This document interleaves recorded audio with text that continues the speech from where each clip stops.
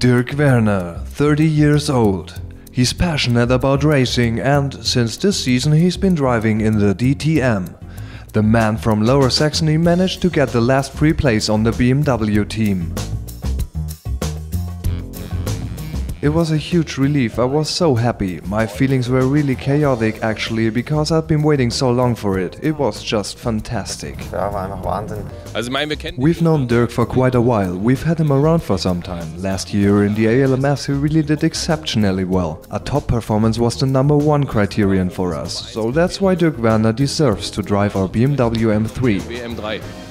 WM3. BMW is back. The company has returned to the DTM after more than 20 years and Dirk Werner is on the team. Ich denke, es ist schon ein mutiger Schritt. I think it's a pretty brave thing to enter the DTM and compete with the likes of Audi and Mercedes-Benz. Mercedes It was really interesting to see how this project was prepared and how the car was developed and I think that everyone can be happy and proud right now, because the comeback really has been a great success. Ähm, das Comeback, denke ich, wirklich gelungen war. For Dirk Werner, the DTM is the latest highlight in a sports career that began way back in 1990 in go-karting. Ähm, I gefahren. rode go-karts for quite a while, seven years before switching to the Formula Junior. Martin Tomczyk drove with me too, among others. Martin Tomczyk mitgefahren.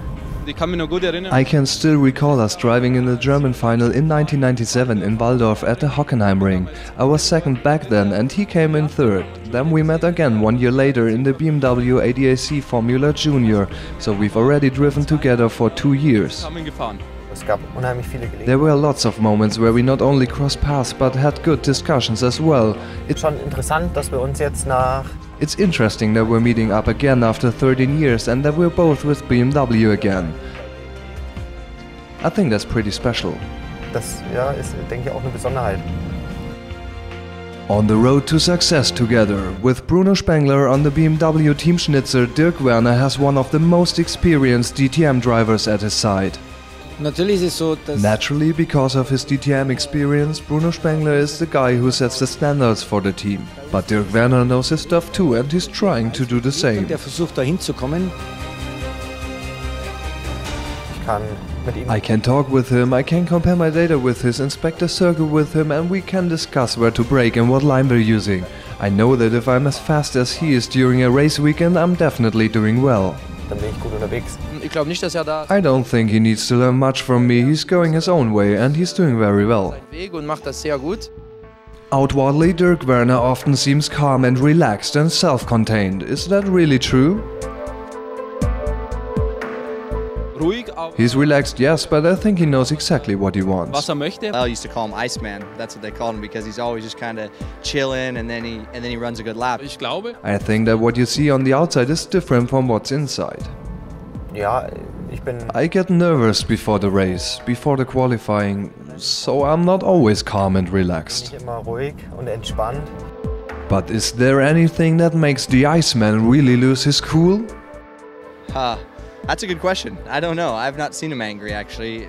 I've never experienced that actually. Maybe you should ask his wife. Ähm, vielleicht ist auch ganz gut. Maybe it's good if you project a bit of calm and don't make others around you nervous if you're feeling worked up and irritated. I don't think that's ever been a bad thing for me. Ich hat mir noch nie geschadet. When it comes to racing, all the philosophy gets forgotten about, because that's when Dirk Werner is in his element. Just like he demonstrated in the first qualifying in Hockenheim, starting place 3 best driver of BMW. Just a collusion with Ralf Schumacher in the race prevented his first DTM points. Dirk's a racer, he's experienced, he's intelligent, he's got the speed. All in all, he's a top driver. Dirk Werner, he's passionate about racing, and now he's at the very heart of the DTM.